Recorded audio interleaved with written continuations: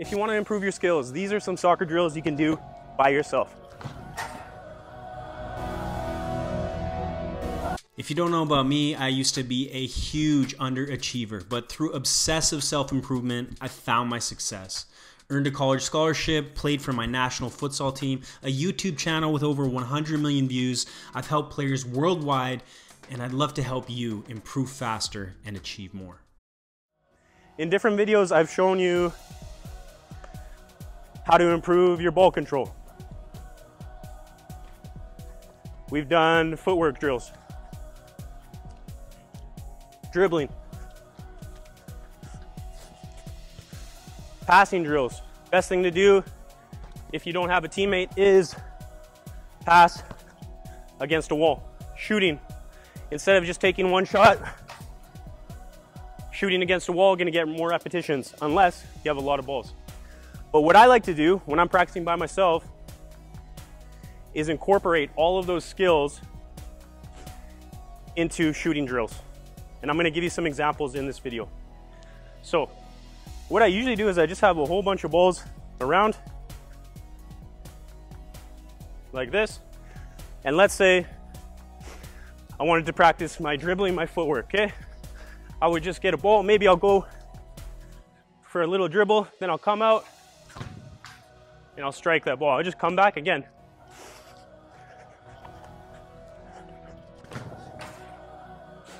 and go again like that. Okay? Way. And everyone misses the net, but you go again. Let's say I wanted to practice some ball control. Okay, you can start like that. Pull out of the air.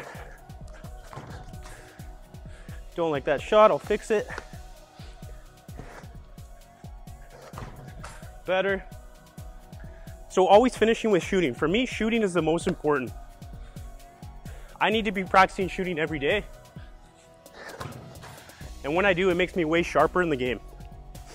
So another thing that you can do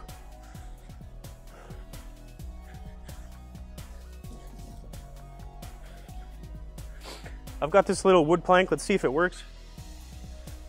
But I might, if I don't have a partner, something like this, and you can be creative.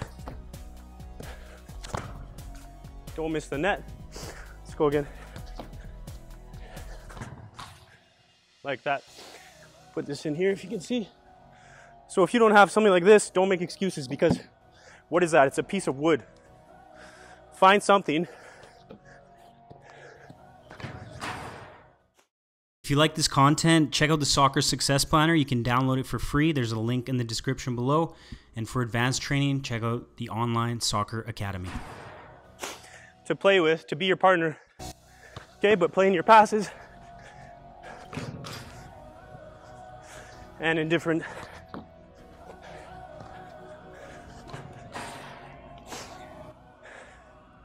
different patterns of movement.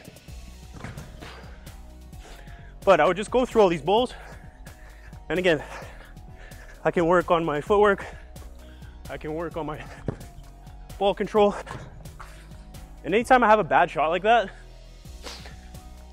I don't just move on. I try to fix it right away. Oop.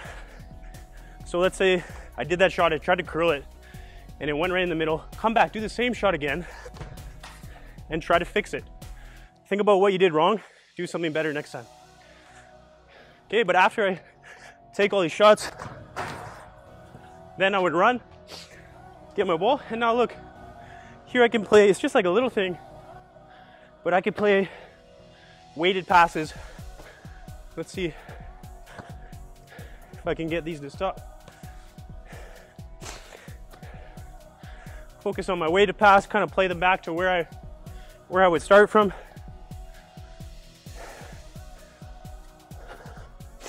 And you can do this quickly if you want fitness, or you can do it slow if you need to recover. If you need to recover, Take this time, focus on breathing.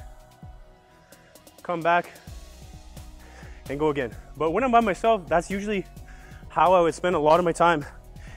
If I'm doing fitness stuff, strength, speed, that's a little different. But this can incorporate dribbling, ball control, shooting, fitness, I'm getting tired, and learning to play when you're tired.